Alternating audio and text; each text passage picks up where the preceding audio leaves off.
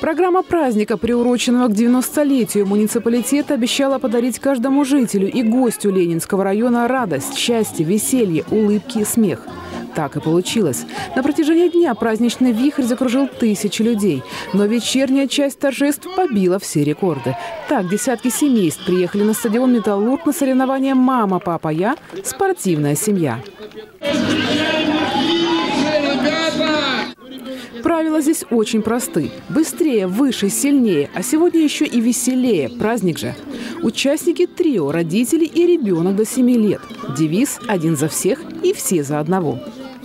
Сила папы, ловкость мамы, азарт ребенка – вот секрет успешного выступления. Но эти соревнования, пожалуй, тот самый редкий случай, когда победа не главное. Куда важнее – единение всех собравшихся.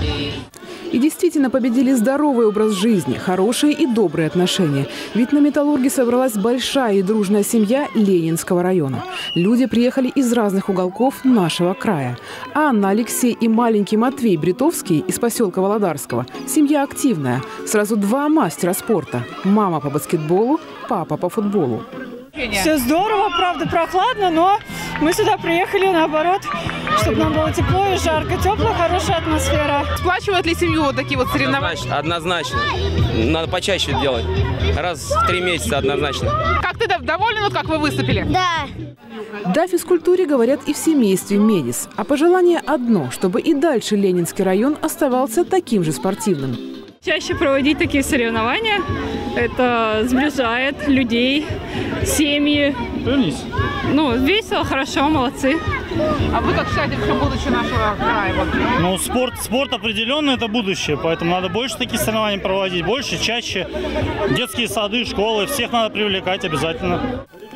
Конечно, горячую атмосферу поддерживали и болельщики, которых переполняла радость не только за семью, но и за любимый город и район.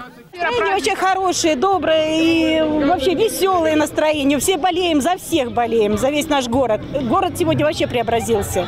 Вот сейчас проезжали по нашему городу, мы живем в Калиновке, проезжали по нашему городу, очень хороший город, красивый стал. Мы решили продолжить своеобразный поздравительный флешмоб, тем более, что от желающих признаться в любви родному краю не было отбоя. Я желаю ему счастья, процветания, вот таких побольше красивых праздников, таких счастливых людей, горожан. В чем будущее Виновского края, как думаете? В развитии, в детях, в детских садах, школах, в мероприятиях. Мне очень все нравится, я жду концерт, да. Меня предупредили, что тут какие-то известности будут. Пожелания какие? Ну, в принципе, хотелось бы э, больше таких праздников э, приятных. Также было чисто, аккуратно. На улице меньше преступности, соответственно. Люди, чтобы радовались жизни. С утра хорошо уезжали на работу, вечером возвращались в свои дома. В домах было тепло и уютно.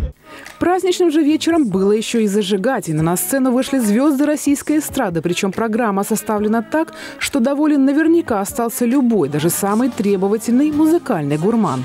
Александр Панайотов, Клава Кока, Миша Марвин, Натан, Алексей Глызин.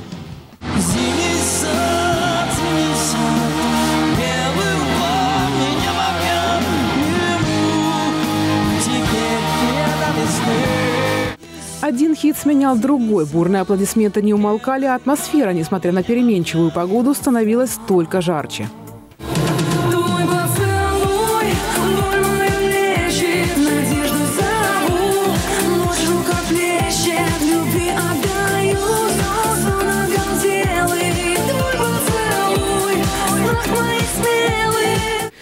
Кульминацией праздника стал красочный фейерверк, который было видно далеко за пределами нашего города.